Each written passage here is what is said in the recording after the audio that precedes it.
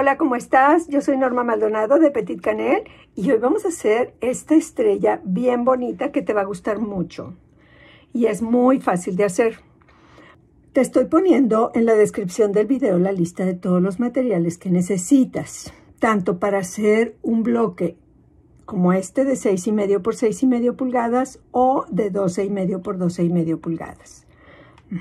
Yo lo hice de 6,5 por 6,5 porque quiero usar 4 para un blog de 12,5 con 4 estrellas iguales. Suscríbete a mi canal para que recibas noticias cada vez que subo un video, que es cada semana. Vámonos a la mesa y empecemos con nuestro proyecto. Aquí yo ya tengo todos mis materiales acomodados más o menos como van a quedar. Si te das cuenta, hay como un patrón, van a ser como cuatro blocks dentro de un block, que son estos, uno, dos, tres, cuatro blocks. Entonces, lo primero que vamos a hacer es darles las puntas diagonales a todas nuestras partes de nuestra estrella. Para esto vamos a necesitar tomar los cuadritos de color neutro de uno y medio por uno y medio y los vamos a poner en la parte superior de nuestros rectángulos, de todos nuestros rectángulos chicos y de todos nuestros rectángulos grandes. Y vamos a hacer lo mismo en los cuatro. Vamos a poner en los chicos una línea diagonal con inclinación hacia la izquierda en todos nuestros rectángulos chicos, que son estos. Y en los rectángulos grandes vamos a poner una línea diagonal sobre el cuadrito que vamos a poner en la parte superior con inclinación a la derecha. En todos nuestros rectángulos lo vamos a hacer. Aquí están mis cuadritos. Le voy a pasar una costura por la línea para pegar nuestros cuadritos en la parte superior con una línea diagonal. A la izquierda en los chicos y a la derecha en los grandes. Les paso la costura y te veo de regreso aquí en la mesa. Ya cosimos todos nuestros cuadritos.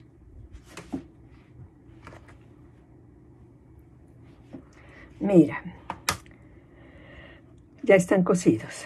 Ahora lo que voy a hacer es, los voy a planchar con la costura detrás de la tela oscura. Aquí los voy a marcar con mi uña para que te des cuenta cómo lo voy a hacer. Entonces, estos dos triangulitos me sobran. Los voy a cortar un cuarto de pulgada afuera de la costura, hacia afuera. Y así voy a marcar todos mis rectángulos ya con sus puntas. ¿Te fijas? Van a quedar así. Y nuestros rectángulos grandes también con la costura detrás de la tela oscura. Y estos los voy a ir acomodando. Muy bien. Ya tenemos todos nuestros rectángulos con sus puntas. Ahora lo único que nos falta es armar nuestro bloque.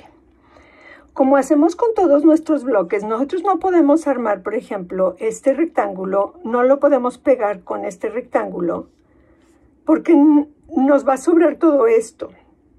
Y para pegarlo no vamos a poder o vamos a batallar mucho. Entonces tenemos que armar por líneas o por tiras los bloques. Entonces, lo que vamos a hacer es, vamos a juntar estos dos cuadritos primero y vamos a juntar nuestro rectángulo con nuestros dos cuadritos ya pegados y luego nuestro otro rectángulo. Y ya que estos estén tres pegados, vamos a armar nuestra tira número uno y la vamos a pegar con nuestra tira número dos. Y así vamos a armar todos nuestros bloques más pequeños nuestros dos cuadritos, los pegamos con nuestro rectángulo y con nuestro rectángulo Y ya que estén todos pegados, los pegamos con nuestro rectángulo más grande. Y todos van a ser igual. Mira, si yo los acomodo, todos me quedan igual.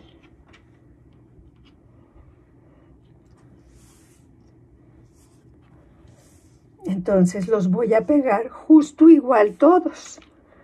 Pego mis dos cuadritos, luego los pego con el rectángulo de arriba y luego con el rectángulo de abajo y ya que arme mis tiras las pego con los rectángulos más grandes.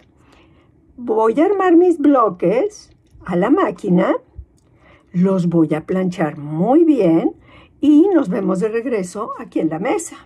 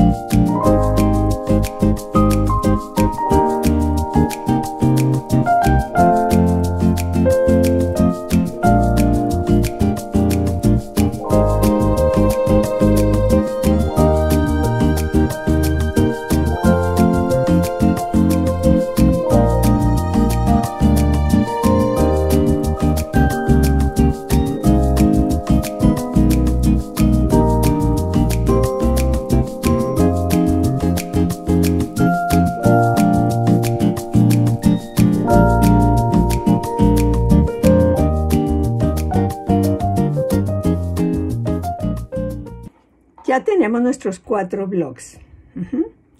Ahora lo que vamos a hacer es, vamos a cuadrarlos. Les vamos a quitar las pancitas que se les forman a la hora de que se deslizan nuestras telas. Eso es normal porque vamos presionando. ¿Sí? Y les quitamos, los cuadramos muy bien. Estos cuadritos deben de medir tres y medio por tres y medio. Si a ti te miden un poquito más chiquito porque coses un poquito más gordito, no pasa nada.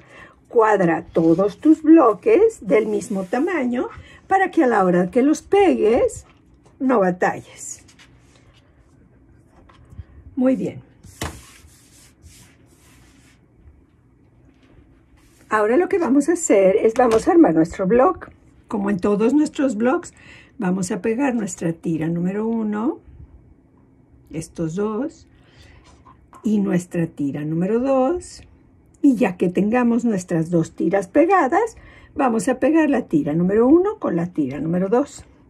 Aquí tienes que tener cuidado con las puntas coincidentes de nuestros triángulos. Lo que vamos a hacer es le vamos a poner un alfiler justo en la costura y que salga en la costura acá y cuando yo pase con mi máquina, yo ya sé que mis triángulos me van a quedar bien coincidentes y me voy a ir bien derecha para que se definan muy bien mi estrella. ¿Sí?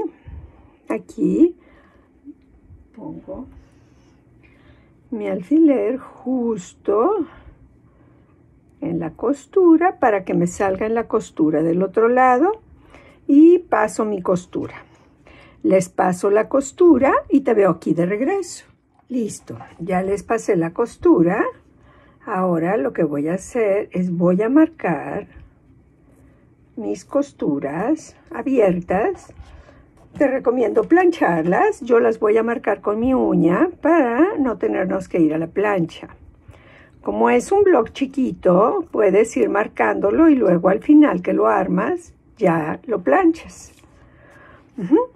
Ahora vamos a pegar nuestra tira número 1 con nuestra tira número 2. Aquí lo que vamos a hacer es vamos a ponerle la atención a las costuras de mis triángulos y a mi costura central que coincidan.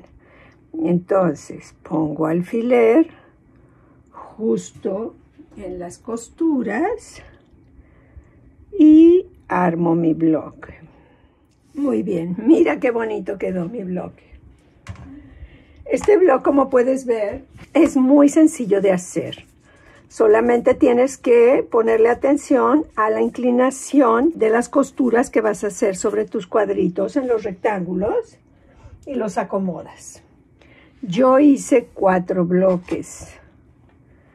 Mira qué bonitos. ¿Sí? Cuando tú haces una colcha y la pegas así, mira qué bonita se ve. Yo los hice juntos para darle más movimiento a mi bloque. No quiero solamente una estrella, sino quería cuatro. Si tú eres principiante, te recomiendo hacer una sola estrella y utilizar una sola estrella en tu bloque de 12 y medio por 12 y medio. Cuando uno es principiante, es un poco difícil a veces pegar piezas más chiquitas, pero puedes empezar con las medidas del más grande, por eso también te las pongo. Ahora, ¿qué vamos a hacer? Bueno, vamos a cuadrar nuestros bloques. Solamente les vamos a quitar las pancitas que se le hacen al deslizarse los cuadros. Estos yo ya los cuadré. Entonces, nada más le voy a quitar las pancitas a mi bloque que acabo de terminar. ¿Te fijas cómo se le hace aquí? Esta pancita del centro, se la quito y así lo voy cuadrando.